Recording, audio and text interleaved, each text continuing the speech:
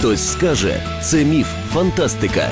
Але яка подія не починалась із мрії? Нехай на перший погляд фантастичної. Усе залежить від рушійних сил, бажання, глибокого аналізу та наполегливої праці. Однак вже сьогодні можемо стверджувати, зимові Олімпійські ігри на Прикарпатті можуть відбутися. Це не реклама. У такий спосіб свою готовність до Олімпіади 2022 на обласній нараді з туризму презентував Буковель. Його керівництво запевняє, ми найкраще, адже саме тут вперше зародилася ідея зимових ігор в Україні. Підтримати ці наміри обіцяє навіть Канада, яка вже провела дві зимові олімпіади. Івано-Франківщина найбільше серед інших регіонів готова до проведення білої олімпіади. Не варто надіятись на те, що хтось побудує щось подібне Буковелю найближче 10 років. Тому потрібно сконцентруватись на тому, що ще не побудовано, визначити регіони, провести консультації з інвесторами, тому що держава однозначно це все не побудує. Наша область і технологічно, і технічно, і висоти гір абсолютно дозволяють, і ми, я думаю, номер один.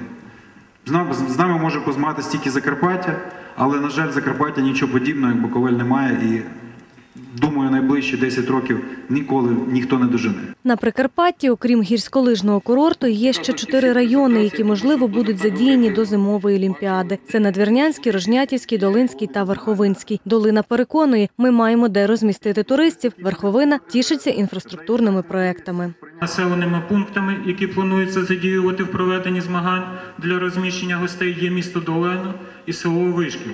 Крім того, проведення окремих гірськолижних змагань можливо на гірському хребті в районі гори Яйко і Лемське, що лежить за межами населеного пункту поблизу, села Мислюка, Шевченківська сільська рада. Ну, всі вони зосереджені в основному е, в районі села, Осмолоди, е, урочище Котелець.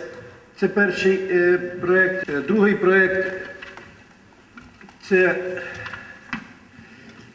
Лютошари. Ділянка площею 19 гектарів знаходиться на території теж Держлісгоспу, е, в урочищі Лютошари на, на висоті 700, е, від 700 до 1050 метрів над рівнем моря. Е, Вже там є е, інфраструктура. і газові магістральні газопроводи проходять, і лінії електропередач. Ну, само собою, що є транспортне сполучення, є дороги. З усіма напрацюваннями області незабаром ознайомляться міжнародний олімпійський і профільний парламентські комітети. Їхні представники на початку березня оцінять потенціал Прикарпаття щодо проведення Олімпіади 2022. Однак обласна влада має тверде переконання про себе треба заявляти вже тепер. Найкраща нагода Євро 2012 І щоб всі, хто не приїде на Прикарпаття, казали, що це найкращий край, найбільш гостинні люди, все там дешево, смачно, гарно. Кругом у нас концертні програми, міроприємства, особливо все, що пов'язано з національними нашими традиціями, з нашою національною культурою.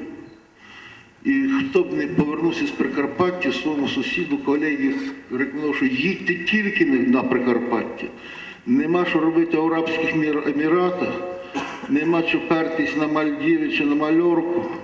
Тільки їдьте на Прикарпаття. Оксана Середюк, Олександр Литвиненко. Новини на вежі.